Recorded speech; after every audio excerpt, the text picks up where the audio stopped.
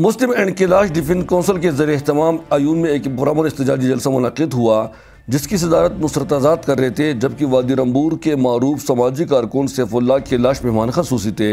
जलसे से मुसलमान और कैलाश मर्द खातन ने भी आज़ार ख्याल किया। मुकर्रीन ने कहा कि कैलाश कौम अपनी महसूस सकाफत की वजह से दुनिया भर में मशहूर है, जिनके मुख्तलिफ़ त्योहारों को देखने के लिए हज़ारों की तादाद में मुकामी और गैर मुकामी सयाह यहाँ आते हैं। मगर इस वादी की सड़कें इतनी ख़राब है कि सयाह इस सड़क पर दोबारा आने को तैयार नहीं होते। उन्होंने कहा कि पाकिस्तान बनने के तिहत्तर साल गुजर गए, मगर अब तक हुकूमत पाकिस्तान ने वादी कैलाश का सड़क तक नहीं बनाया। उन्होंने चित्राल यूनिवर्सिटी को भी सैदाबाद में तमीर करने पर ज़ोर दिया, जहाँ एक सौ छियासठ कनाल ज़मीन उसके लिए ऑलरेडी खरीदी गई है। कैलाश लोगों ने सहाफियों को बताया कि हुकूमत या तो हमें सड़क बना कर दे वरना हमारी खत्म होना अच्छा है। बेहतर यही समझते हैं कि हम अपने आप को दरिया में फेंक जाए क्योंकि अगर रोड नहीं बने।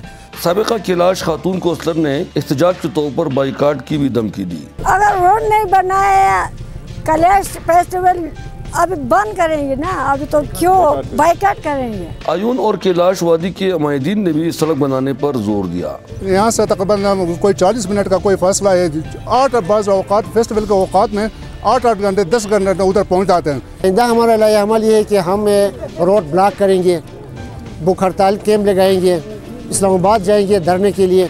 कैलाश कल्चर को तहफ़ दिया जाए। उसके बाद जब तक रोड नहीं होगी तो कॉलेज तक कैसे आएँगी बच्चियाँ? जलसे में एक मुतफ़ करारदाद भी मंजूर हुआ, जिसमें वफाकी और सूबाई हुकूमत से पुरजोर मुतालबा किया गया कि वादी कैलाश की सड़कों को जल्द से जल्द तमीर किया जाए, वरना मुसलमान और कैलाश दोनों इसके खिलाफ पुरतशद एहतजाज करने पर मजबूर हो गए।